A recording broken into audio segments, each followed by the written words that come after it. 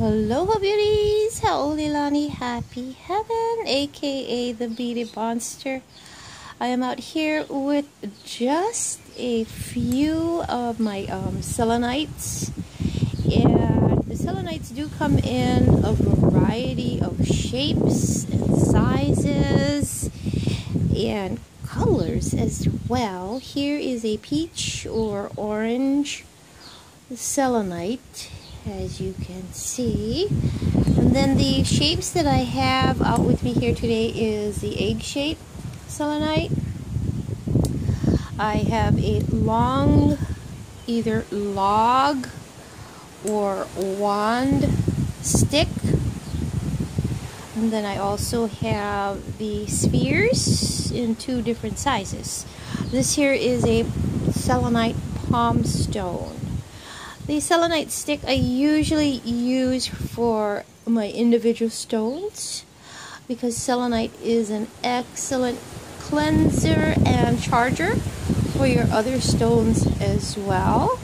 There are many different ways to cleanse and recharge your stones and this is one stone that pretty much does it. But also you cannot uh, wet selenite because selenite is a very soft stone. On the Mohs hardness scale, I believe it is a 2. So that means it's super soft and it does dissolve in water.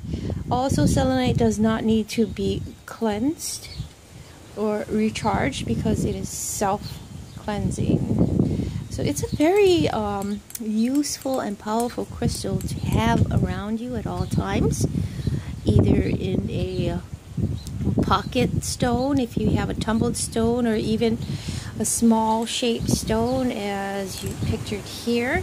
It's excellent for that. But not only that selenite is really good to keep in your bedroom because it has a very calming restful gentle energy to it and it helps you to relax and just simply rest peacefully. I love selenite because it has such strong powers for that. And it helps to soothe the mind, the body, and the spirit, especially if you are stressed out and, um, you know, everything is just coming down on you grab a piece of selenite, carry it with you in your pocket, or if you have selenite jewelry, wear it. But this is beneficial, I believe, to everyone to at least have a couple of these in their crystal collection.